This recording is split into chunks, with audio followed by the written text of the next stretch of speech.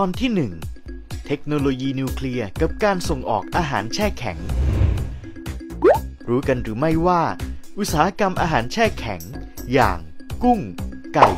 เนื้อสัตว์ และผักผลไม้อีกหลายชนิดนั้น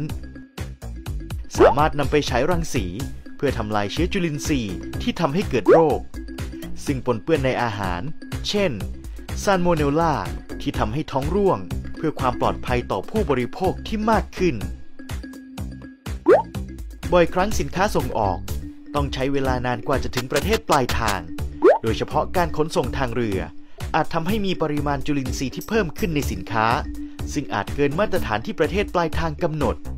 ส่งผลให้อาจถูกปฏิเสธการนำเข้า การฉายรังสีจึงเป็นเทคโนโลยีทางเลือกหนึ่ง ที่สามารถนำมาใช้ได้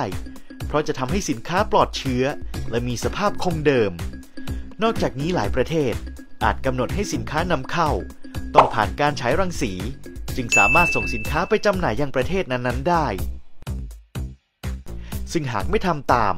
อาจจะทำให้เสียโอกาสทางการค้า และทำให้เกิดความเสียหายขึ้นได้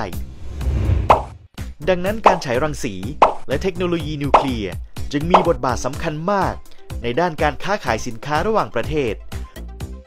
รวมถึงอุตสาหกรรมการส่งออกอาหารแช่แข็ง ซึ่งช่วยสร้างเม็ดเงินเข้าประเทศได้ในแต่ละปี